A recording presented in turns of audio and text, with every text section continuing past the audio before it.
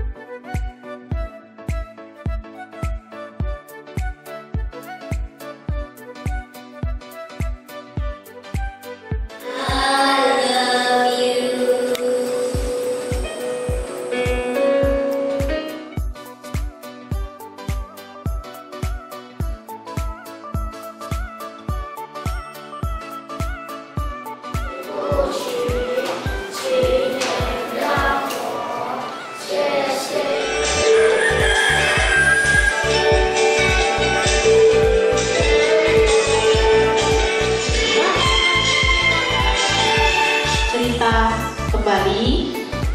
Tadi udah Wilke udah belajar presentasi. 你好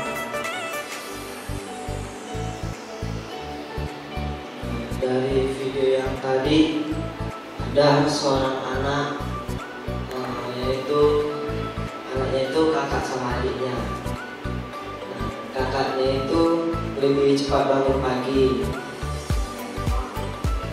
lalu kakaknya memanggil adiknya untuk